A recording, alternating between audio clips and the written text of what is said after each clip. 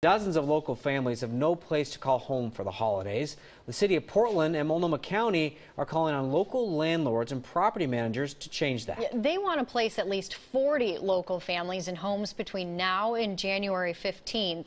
Our Tim Becker is here now. He's going beyond the headlines about this. Tim? This program is a direct appeal to anybody with rental units to make them available and affordable so families ready to move out of shelters can do it as soon as possible. Many families in shelter are working or have housing subsidies available. Mayor Ted Wheeler and County Chair Deborah Kafoury say the campaign is not asking for charity, just a lending hand that'll give people who want it, like Marlena Neely, a chance to get back on their feet. My kids are all boys, ages 11, 6, and 5.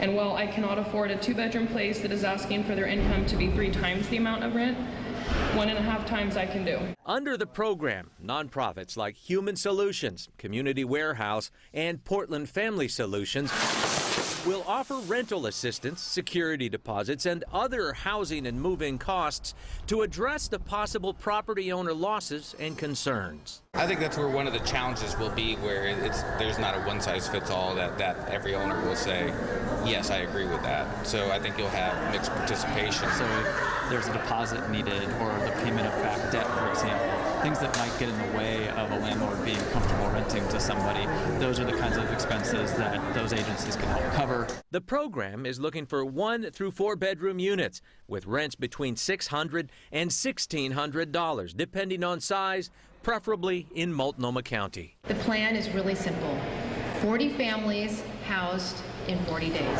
If we get 60 offers or 80 offers or 100, we'll still have families who can take that.